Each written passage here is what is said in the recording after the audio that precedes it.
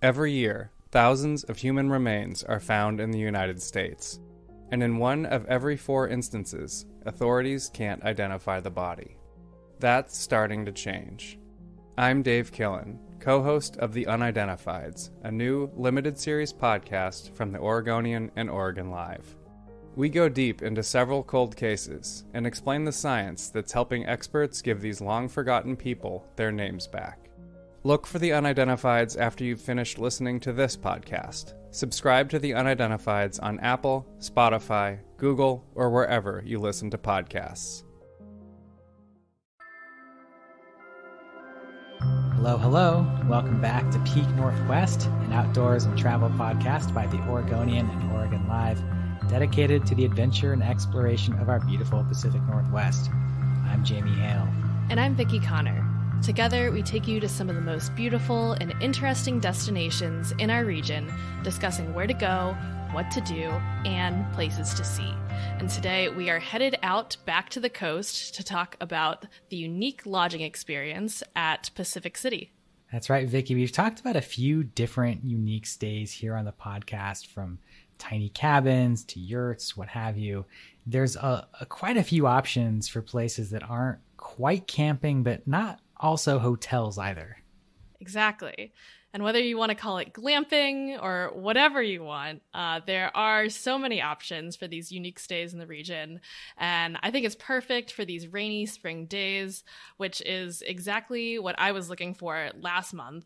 Um, so, kind of in the midst of those nonstop rainy days, I headed out to Pacific City and I stayed at Hart's Camp Airstream Hotel. Okay, so Airstream Hotel. I'm imagining. Tell me if this is what I what I think it is. It's like these places that have a bunch of like vintage Airstream trailers you can stay in.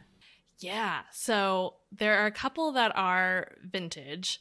Um, and if you look on the website, there's a breakdown. They have seven different Airstreams. And I believe two of them are actually from the 70s. The rest are, I think, from like 2015, 2016 uh, times. And um, basically it works like a hotel so you can book whatever days you're wanting to stay. I think on weekends it's like a two day minimum stay. Um, but these airstreams are located kind of right one after another um, outdoors obviously. And uh, at these airstreams you basically get a little outdoor area, a little patio. Um, you get a fire ring with some Adirondack chairs. There's an outdoor shower. Wow. And then on the inside, um, most of them host up to two people and two pets. And, um, you know, if you've been in an Airstream before, you know what to expect. you have like a bed, a very cozy kitchen, a little dining area, and then uh, I'll say this in quotes a full bathroom, even though it's very tiny. so you have all the kind of amenities of a hotel, but you also get this kind of camping mm. action as well. It sounds very charming. So you said this is in Pacific City, but where, where exactly are we talking about? So this is in Pacific City, and it is basically right across the street from Pelican Brewing. Um, and if you look on a map, you'll see Cape Kiwanda RV Park, which I think is by the same owners as Hart's Camp, this Airstream hotel. Um, and so one of the best parts about staying at this Airstream hotel is that you, you know, walk a few steps, walk across the street, and you're right there at Pacific City Beach great location, especially now that that I mean that the parking lot gets so crowded. Um, you know, Pelican gets so crowded. Mm-hmm. It's got to be so nice just to walk across the street, not worry about trying to find a parking spot or finding other people for it. That's that sounds like a really great opportunity. Yes, exactly. Um, and because most of these airstreams are dog friendly, I wanted to take Stella along with me. So she came along, yes. and it was really great to be able to just stay, like, park your car. You get a little parking pad outside of the airstream, and then you walk right on over. Brought Stella with me. She was with me for every activity of this trip and it was super convenient to go like run out with her on the beach get get all of her crazy energy out and um, even though at the beginning i was saying it was rainy basically all the days leading up to this trip, we actually ended up getting really lucky and having a nice, sunny, beautiful day at the beach. Oh, that's so amazing. When you were talking about those amenities, about the firing, the, out, the outside seating area, the outdoor shower, I was like, man, are you going to be able to enjoy mm-hmm. like any of the amenities that they have there? Yeah, we got really lucky with uh with going on a a randomly beautiful day um with very little clouds in the sky at all. And uh, we took advantage of all the outdoor stuff um, of course walked on the beach but then also enjoyed that patio area that's outside of the airstream. So when you get there they do supply basically everything for getting a fire ready to go from um, a few different logs and then like a fire starting kit. And then they also give you a s'mores kit, which is awesome and such a nice little perk. Um, so at night, I built a fire, made some s'mores, and just sat out. And it was a little chilly out, but they even gave you a blanket too to sit by the fire. Wow. So really, really nice. So they're like really bringing the amenities here. Was there anything else that they offered? Um, so inside they also had uh, a little coffee maker. I think it was like a Chemex and some fresh coffee for you. And then they had in in the uh, fridge they gave you um, complimentary hop water, which I had never had, but it was yes. from Pelican Brewing. It was so good. Yeah. The sparkle hops? yes. Yeah. Oh my gosh. Uh-huh. I w- did not know what to expect, but when I read it, I was like, is this going to be gross? But it was delicious. I, I swear by that stuff. I, I love it because, you know, as someone who I, I love the taste of, of like an IPA and of like really hoppy beers, but I don't like like beer. It doesn't sit well in my body. So having something that does not so fermented, is not, doesn't have all the alcohol, but still gets that hop taste, is really nice to have. Yeah, I'm not much of a drinker, and when I saw some like non-alcoholic sparkly beverage, I immediately got excited and got to enjoy that out on one of the Adirondack chairs that they have uh, outside of the airstream, and it was lovely. Wow, amazing! So you said that these these airstreams can hold up to two people, um, but there's a number of them. Or is this the kind of place where you can bring a, a large group, or is this sort of more like a two person at a time situation? Yeah, so most of them are max of two people, max of two pets. There is one option out of the seven that has different um, bunk beds, four twin bunk beds. So there's one option for a little bit bigger of a group. But then they also encourage if you are going with friends, you can get like two airstreams that are next to each other. And apparently you can open up like the fencing in between them. And then you're set for a whole airstream party. That's a nice way to do it, but it, it sounds like generally speaking, this is aimed more at like couples or pairs of people than it is with say like larger families. Totally. Um, I felt pretty cozy in there just with me and Stella. So I can't imagine, you know, I could imagine going with my partner and his small dog, but it would get a little little cramped. Uh, but luckily you have that outdoor area where you can kind of mosey in between the airstream and the patio. Well, one thing we haven't talked about is is the price tag. So I mean, obviously camping is like people like to do it in large part because it's so affordable. Um, what does it look like here? How much did you pay for your your airstream experience? Lucky enough, and we talk about this quite a bit on this podcast. I went on a weekday. Mm-hmm. Granted, it was spring break, so there were actually a lot of people in and around the area. But I went on a weekday, and you can only stay for one night if you do a, week night. If you go on the weekend, you have to do a two night minimum. Um, so it ended up being after the the like 20 25 dollar dog fee it ended up being right at like 300 dollars so I would say, you know, this is more of a special experience. This is not exactly the most budget friendly option, but with all the amenities that they have and the proximity to walking to the beach and everything, I thought it was it was a pretty good it was a great experience in my honest opinion. And uh, if you're looking for something that's really special, it might be worth spending that three hundred dollars. Well, there's something that's romantic too about staying in an Airstream trailer. I know a lot of people really like that sort of thing. So I mean, I know you, you mentioned it was kind of cramped or, um, but it was also kind of like this magical place. But what was your experience of being in this, this, this vintage trailer? I thought it was super cute. And I actually had never been in an Airstream before, so I didn't really know what to expect. Uh, but it's kind of crazy how efficient they are in using that tiny little space and making use out of every inch in that thing. Um, you know, from just a smaller sink to including pullouts in a lot of the drawers to make more storage, uh, storage overhead of the bed and um, under the bed as well.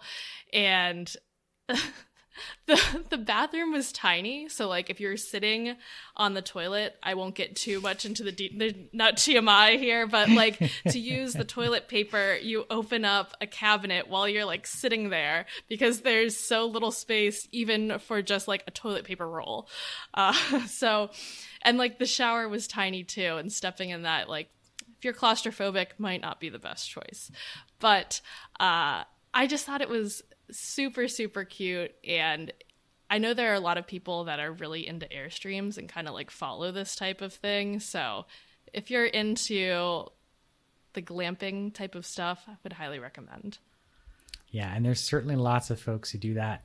Um, you know, I feel like these these kinds of places, these vintage trailer resorts, um, I feel like I always see people um, filling them up. I feel like every time I've been driving by or that I've stayed in one, it, it's been a pretty popular experience. Were, were, there a bunch of folks there? I know it was spring break, like you said. Yeah, the the park itself, because it is owned by the same people who own the RV park. Um, it surprisingly was not that crowded, or maybe there are just so many different spots there within the the grounds that people were spread out.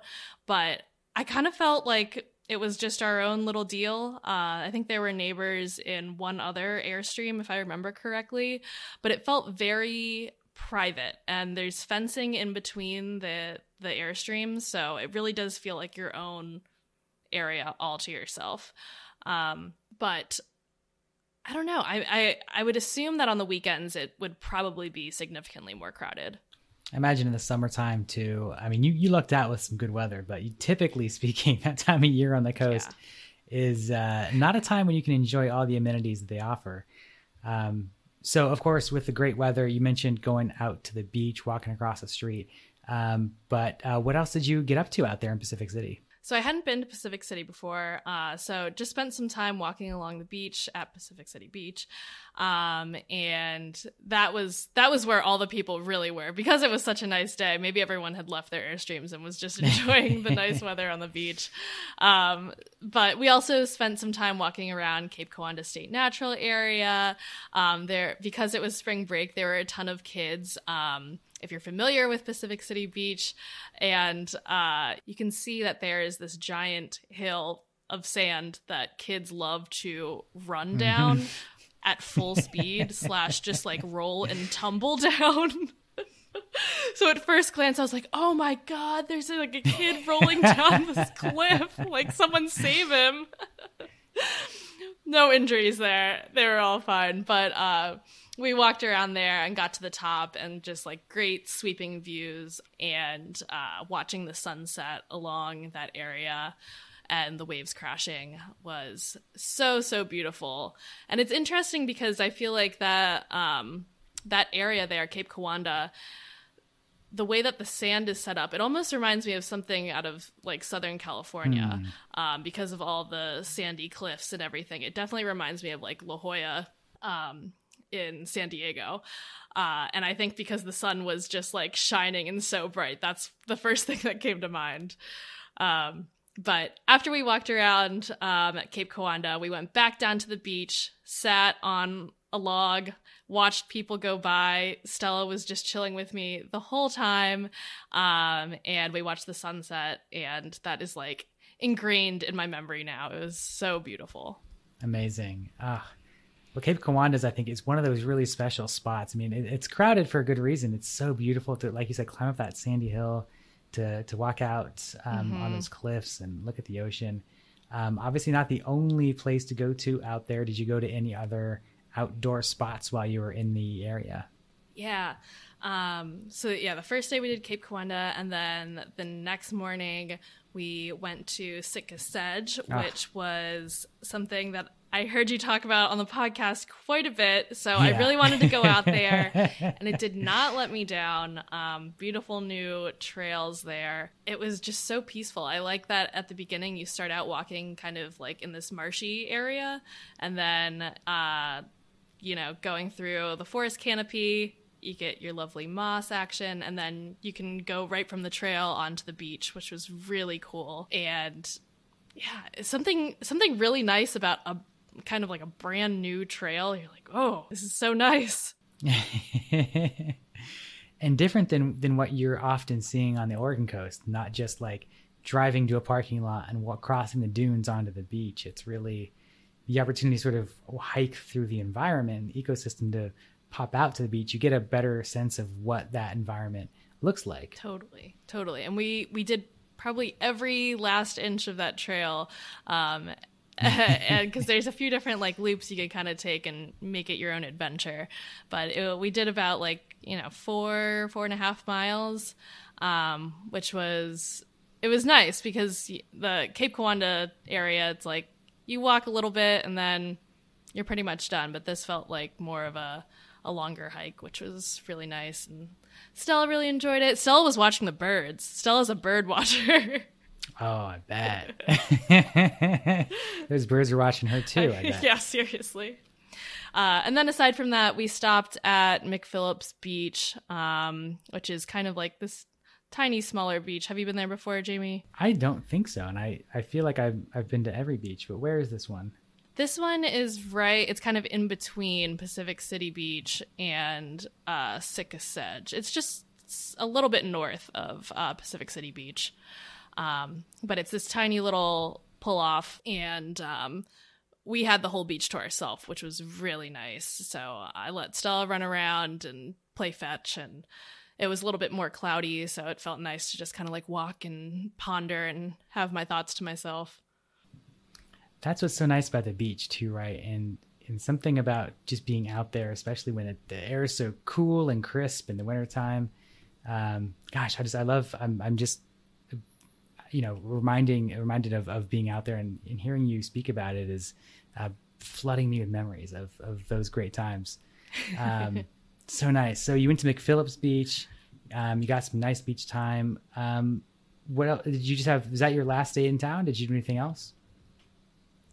Yeah, I mean, it was kind of like 24 hours in Pacific City. so uh, it was a quick trip, but uh, definitely really enjoyed my stay and, uh, you know, got to explore a few of the restaurants in town. Um, got some really good Mexican food, which is now like my go to thing when I go to the coast, is going and trying a new Mexican restaurant. Yeah. Um, shout out to Los Caporales. Uh, if you like enchiladas, this is the place to go. They're so good. Amazing. and then in the morning, hit up Grateful Bread Oh, Bakery, yeah. which which is indeed a play on Grateful Dead, and they do have lots of Grateful Dead like merch in and around the store, in and around the bakery. Great name, great bakery. I haven't been there in years, but that's like a mainstay in Pacific City. I feel like that's been around forever. Yeah, yeah. And it was definitely very well known because during spring break and when I went that morning, it was packed. There was a wait. Uh, I, I completely blanked on it being spring break. And I was like, oh my gosh, these kids not go to school? What are they doing here? I'm out of touch. Well, so I know it was your first time in Pacific City. What was your general feel of the place? What what did you what did you think about it? You know, I feel like whenever I go to a new town on the coast, because my first experiences of like going to the coast obviously are Cannon Beach, I'm always surprised at like, oh, it's just like a tiny little it's a tiny tiny little town. Um so yeah, I didn't I really didn't know what to expect and uh I thought it was it was just super nice and quaint and uh even though it was spring break, like traffic and whatnot was not overwhelming or anything like that. So um, I really liked it. Well, obviously a, a great spot to spend a day. Anything that I missed, Jamie? Uh, any favorites that you have for Pacific City? Well, I mean, you know, you, you hit up obviously a, a lot of really good spots. Um, you know, Pelican Brewing, as we mentioned, I think is probably one of the most popular restaurants in town, um, if not one of the most popular restaurants on the coast. I mean, it's it's got incredible view right there on the beach. Um, of course, good beer, um, good food, usually jam packed. So uh, I, I, often don't even try to get into Pelican. Um, but it's got some nice overflow restaurants. I feel like every time I'm there, you go to you go to Cape Kiwanda, you try to get something at Pelican, and then you end up at like the burgers and taco place next door uh, across the park. Yeah, I did see that. Yeah, I've I've done that a couple times before. Um, that's that's a pretty a pretty reliable um, trick there. Um, but I mean, you, you, can always go down to Bob Straub State Park. That's just sort of the southern end of Cape Kiwanda Beach. Um, you know, you can just walk that whole beach if you want, all the way um, to the mouth of the Nestucca Bay. And Nestucca Bay is a good place to go kayaking, um, as with like a lot of wildlife refuges that are kind of on the coast there. And um, going north from there, obviously there, there's just a lot of great stuff. Um, going up to Cape Lookout and um, going up to Netarts and Cape Meares, there's that sort of that three capes section of the coast. That's a really nice day trip as well. So, I mean, it's a great place to anchor yourself. I've done that before on some family vacations, just anchored in Pacific City and spent the days either on the beach or driving up and down um, 101 right there. And it's it's a really really nice place to be. I think.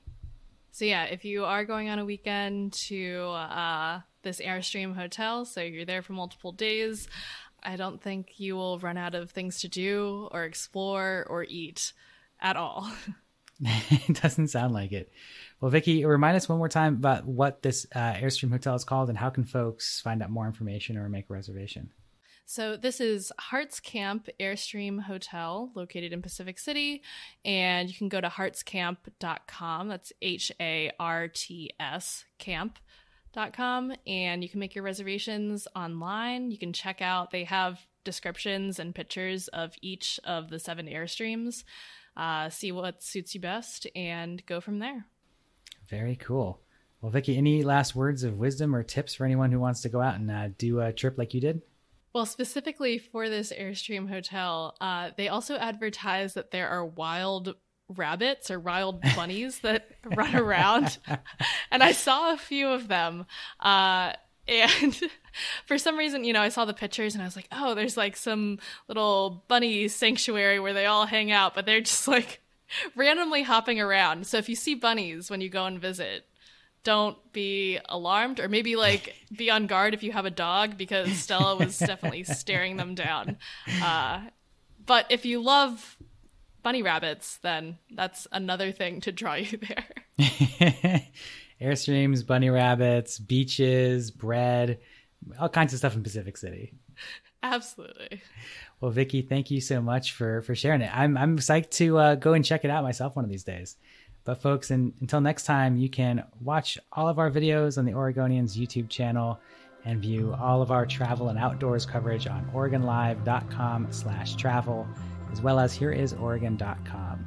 Please leave us a rating or review if you enjoy the show, and if you want to support this podcast and our local journalism, please consider a subscription to Oregon Live. You can find details at oregonlive.com slash podsupport. Also, if you're a fan of the show and you are interested in potentially sponsoring it, you can get in touch with our marketing people at advertise at oregonian.com. This episode of the show was produced by me, Vickie Connor, alongside Jamie Hale. Stay safe and happy travels, everyone. Until next time, we leave you with this 10 seconds of Zen.